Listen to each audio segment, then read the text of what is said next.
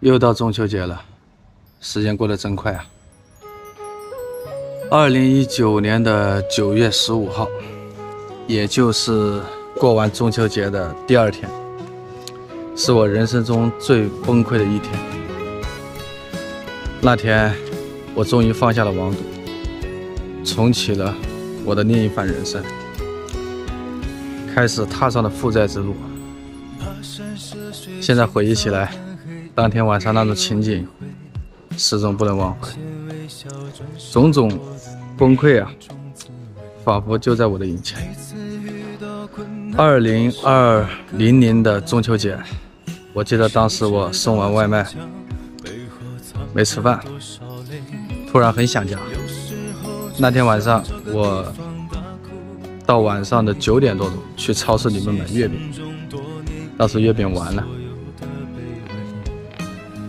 就只有这这么小的那种散装的称的这么小的月饼，买了六块钱的，一个人坐在马路边看着月亮吃着月饼。二零二一年的中秋节那天正好有朋友找我催债，接完他的电话之后，我一个人坐在横岗的龙岗大道的桥底下。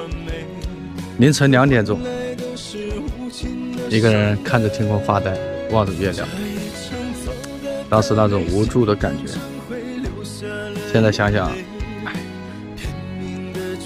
今年的中秋节，虽然我在湖北，但是还是没能回家，可能是老天注定不还清债，不让我回家。已经在家里被关了九天了，今天第九天。本来是今年可以跟家人一起过个中秋节。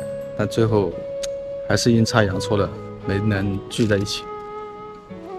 冥冥之中就好像命中注定，但是离家越来越近了，这是事实。希望明年的中秋节我能跟家人一起开开心心的过。你们今年都回家了吗？如果没回家，跟我一样好好努力，来年一定可以，加油！